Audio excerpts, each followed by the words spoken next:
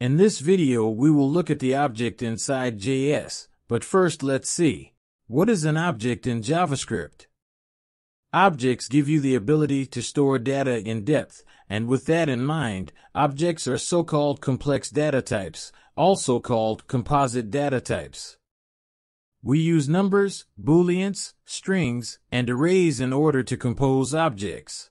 Objects can also store objects within themselves. So when we're dealing with multiple related variables, we can put these variables inside it. For example, here we have two variables. Car model equals charger and year equals 2016. They're highly related. They are part of the representation of a car. So instead of declaring two variables, we can declare a car an object. And then instead of referencing these two different variables, we can just refer to the car as an object.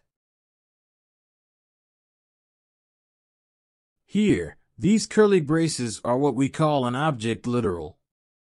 Now between these brackets whatever we add is known as key value pairs, so keys are basically the properties of this object.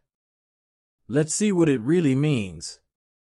In this case, we want this car's object to have two properties, or two keys, car model and year, so we add car model here. After that a colon, then set the value. So after charger, we add a comma and another key value pair with the year equal to 2016. So far, we've created a car object with two properties, or key value pairs, car model and year. Now, these two are the same as this new object we created, so let's remove it. Let's log out the cars now and after saving it, here's where we can see these properties. There are two ways to access or modify these properties. By using dot notation or bracket notation. Let's see this inside our code. Here we are telling JS that I want to access this car model property from the object. Look at this code. After cars, when we put dot notation, we are able to see these options, car models and year. Let's say we want to change the name of the car model to Viper, so we simply add Viper inside quotes and console log cars car models and console log cars. Check this out our properties is changed. We can also use any objects inside an object too, what it means is nesting objects we can still access those properties.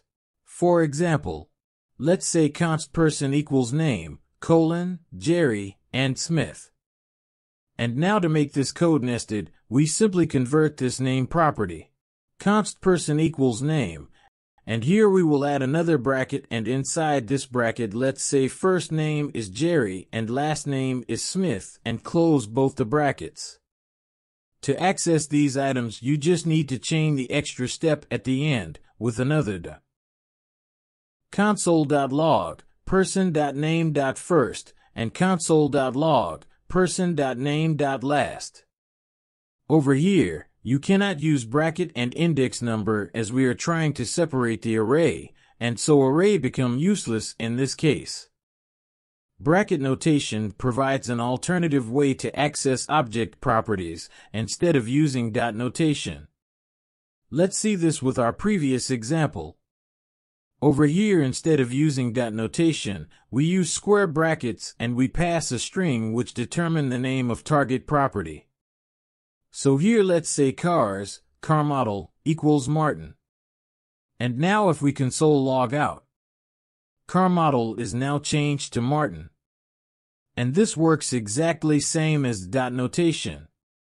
While coding, we can use any of these two notation. In next part we will look at the functions basic in JavaScript so stay tuned and don't forget to share and subscribe.